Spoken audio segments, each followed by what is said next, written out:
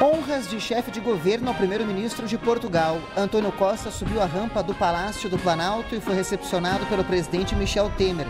Depois, os dois líderes realizaram uma reunião de trabalho que contou com ministros de ambos os lados. Portugal está no sudoeste da Europa, tem uma população de quase 11 milhões de habitantes e uma economia que movimentou no ano passado 199 bilhões de dólares.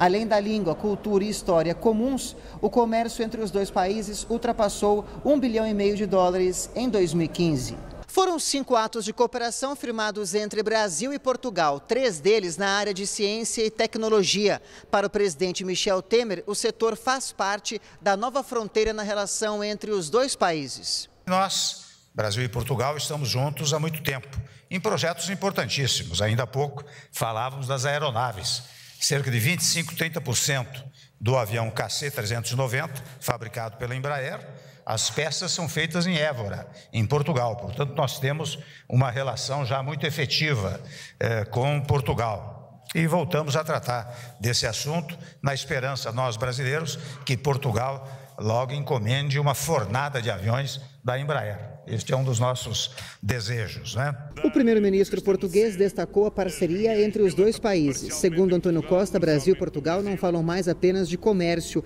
mas também estão dialogando no mais alto nível em outros setores como ciência e tecnologia. Hoje já não falamos só de importação e exportação de petróleo, de carne, de vinho ou de azeite Hoje podemos falar na cooperação técnica e científica ao mais alto nível. Agora, um novo projeto muito ambicioso, que foi, aliás, objeto de dois acordos aqui hoje assinados, que tem a ver com a construção de um carro movido exclusivamente a eletricidade.